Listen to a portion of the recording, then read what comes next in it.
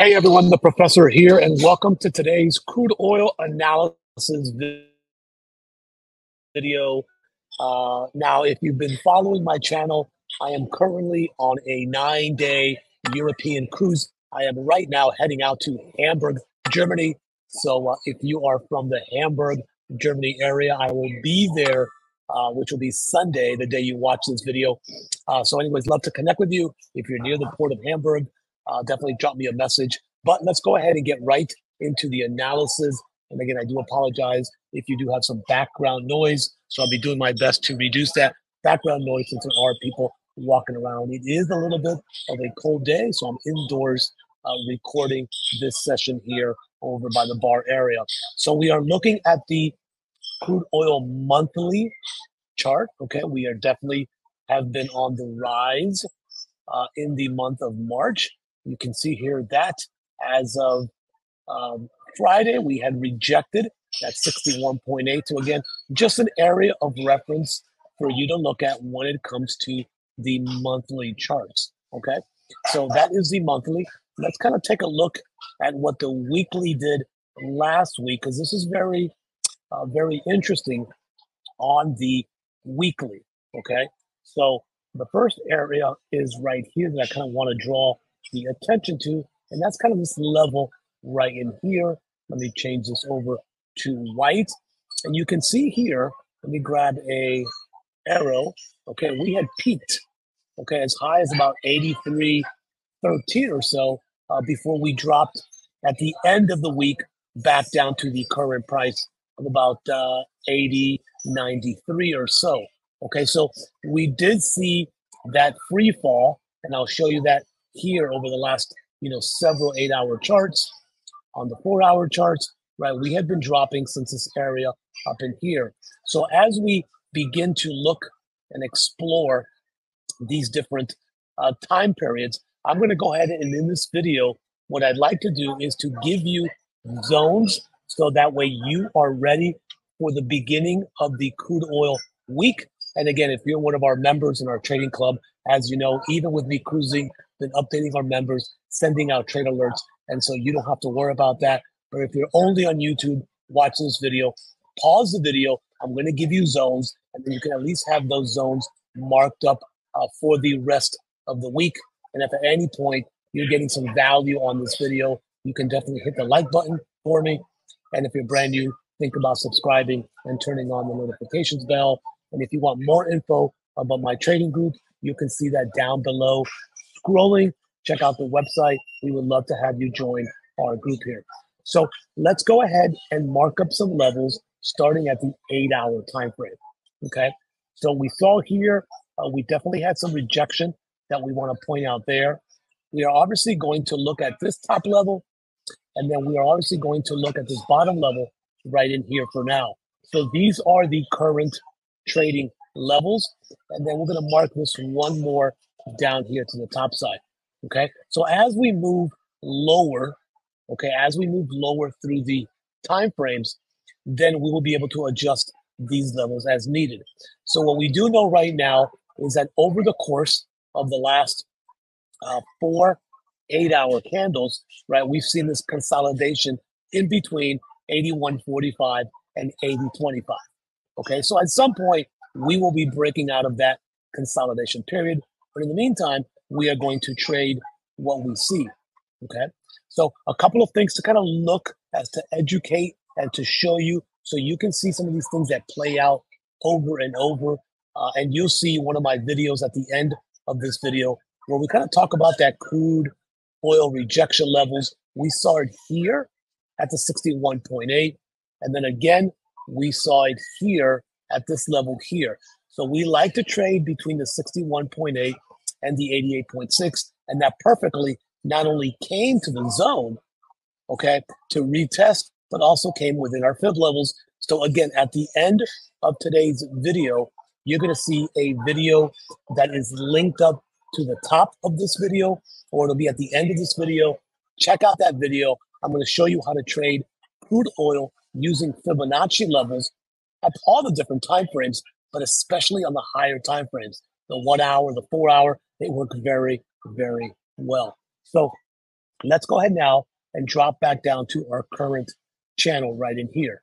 So we are now going to move to the four hour time frame.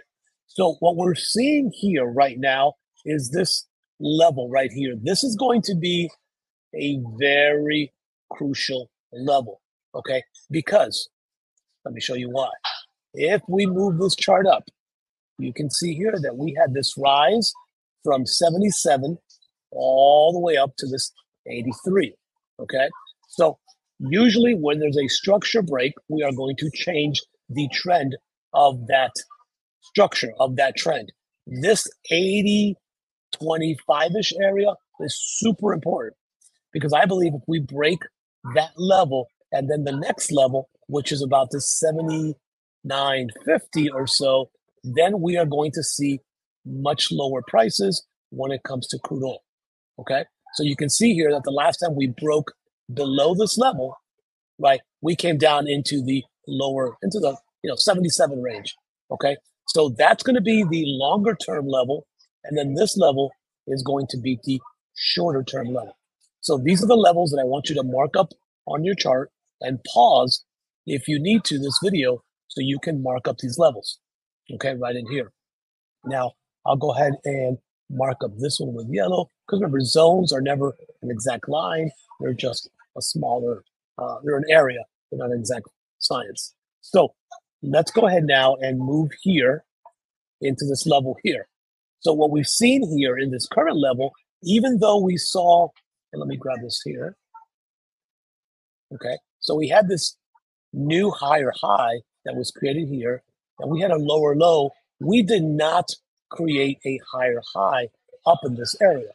Okay, we did not create a higher high up in this area. So we created now a lower low, a lower high, a lower low, a lower high. So this is going to be very important to look at for the beginning of the week. Okay, what is going to be the next step for crude oil on a longer time frame? Okay, but we are going to trade what we see. We know that this now is a supply and demand zone. All indications of these candlesticks are pointing that we should continue at least falling back down to about this $80 a barrel price point on this chart. And again, keep in mind, you can see up here the chart that I'm using for this analysis, but the price action on your chart should pretty much mirror this. So what I want to do now is I want to drop down into the one hour time frame so we can kind of begin to see uh, what is happening here as well.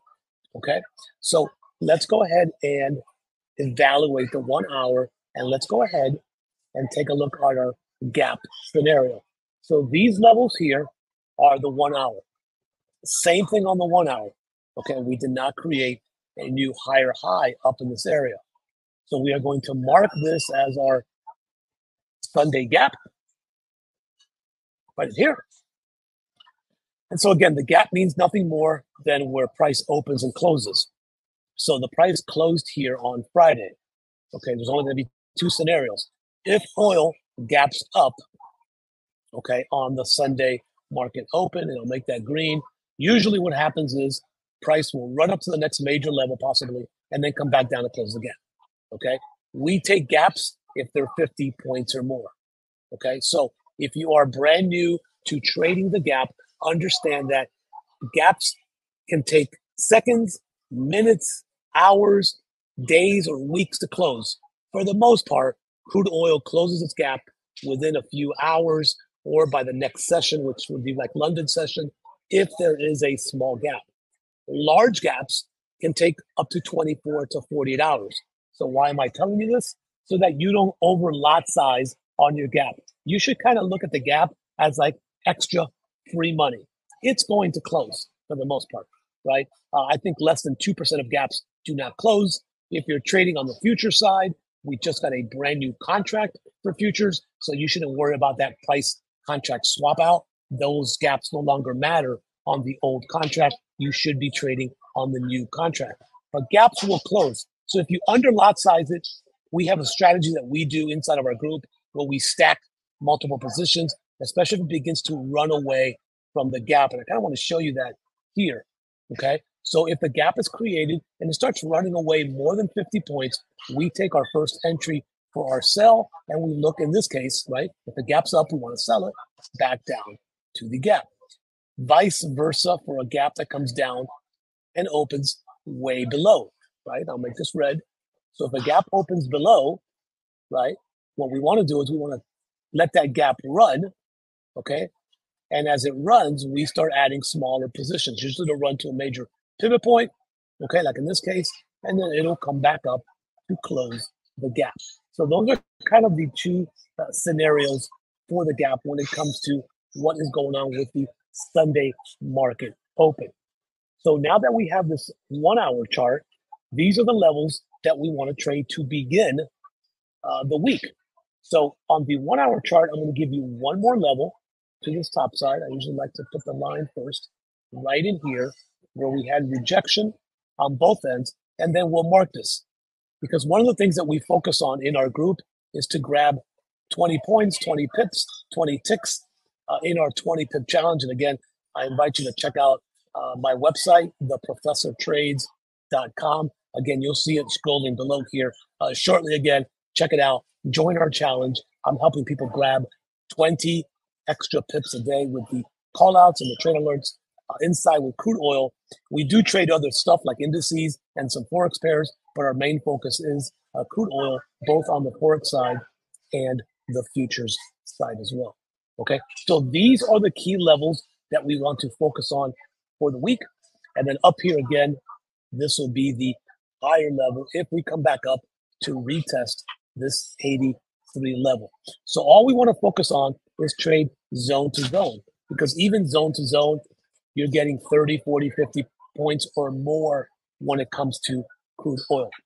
Now, when I see a large gap between 80 25 and 80 45, I don't want you stuck. So I'm going to give you this mid level right about in here where we've seen rejection. Where, for example, if you're taking a buy from this lower area, understand as like what happened here, this would be a place to either secure or cash out because we've seen prior rejection at this 81 level, basically. Okay. So I'm going to throw that level in there so that you have it as a way to say, uh oh, I may be experiencing either resistance or support, depending if you're selling or buying, at that level in between those two major levels right in there. Okay. So that's how we're going to start our week. Uh, this is a little bit shorter video because, again, uh, I'm in the middle of the North Sea heading over to Germany. But I hope you got some value on this video, enough to get you started. Let me know down below uh, in the comments um, what you learned from this video, if you learned anything, and do you think we're going to go higher or lower than our current price for crude oil this week? To our members, thank you so much for your support. To our subscribers, thank you so much for your loyalty and your support. We love to have you in the club because we're helping a lot of people. There's no upsells. Everything in the club you get for the same fee of the monthly fee, which again is under one dollar a month. Okay, thanks for watching. I hope you got some value. Uh, this is kind of a bigger view now of the wine room that I'm sitting on here uh, on the cruise. And again, that's just one of the blessings of learning to trade, but not just for a day or a month or a year, learning this the right way with a community, doing it eight years later is proven that it works if you're around the right people. So we invite you to join our amazing community with amazing people so you can be doing this to give you freedom, not to become a millionaire. If it happens, great, but to give you enough money and space to be able to enjoy life. More importantly, for your family, to be able to take them to places that maybe you normally would not be able to take them. I've been using trading money since 2018 to take my family all over the world. So this is why, this is my why. Now you have to know your why into why are you getting into this. Obviously, it's to make some money, but there's got to be a bigger purpose in that, right? Help others, give back, financial freedom, explore the world, travel. There's got to be a bigger why. For me, it's allowing my kids, my family to see things that they normally would not be able to see. And trading has been the vehicle that has been able to do that. And now I just want to pay it forward to help other people across the world in other countries. As a matter of fact, most of our folks, of 170 that we have now in our group, are mostly international. and it's good to see them seeing some light at the end of the tunnel, finally seeing progress in their trading journeys that maybe were not so good prior to finding me and joining our community. Because it's really not about me, it's about the community that we have. Everyone's helping each other, trading in London session, US session, all the different sessions, helping each other and sharing charts. Okay, that's it for me. Thank you so much uh, for watching, and we'll see you on the next video. And members, I'll be updating you inside our private app community. Thanks for watching.